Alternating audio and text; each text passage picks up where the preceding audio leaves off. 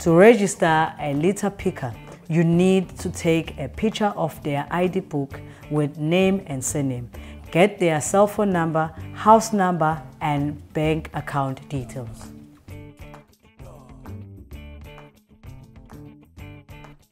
Issue litter picker with a clear Pesco bag. If none are available, use black bags. Some litter pickers are given recycled canvas bag. Litter pickers are also given t-shirts, gloves and masks. Then they make sure they fill and separate the litter. Then they come and drop off the bags of litter and the token is issued. You need to make sure that the bags are full.